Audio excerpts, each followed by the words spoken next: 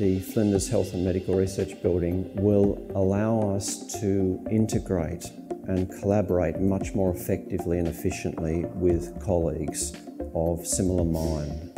My principal research involves the gastrointestinal tract and how the gut and brain communicate and we're very interested in how pathways between the organs in the abdomen and brain connect and how those pathways are important in, in health and well-being.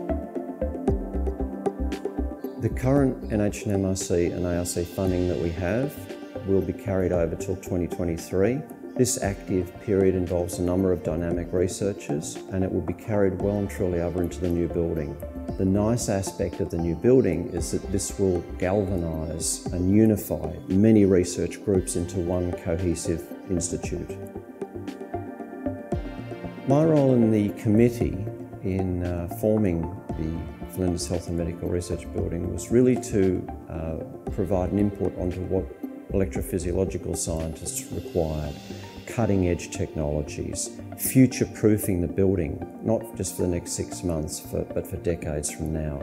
And that involves looking at the latest technologies and ensuring that we will be purpose built for the next generations. And that's a key impetus for our, trajectory, is to train next generation scientists, up and coming scientists that are going to be leading uh, this institution into the future.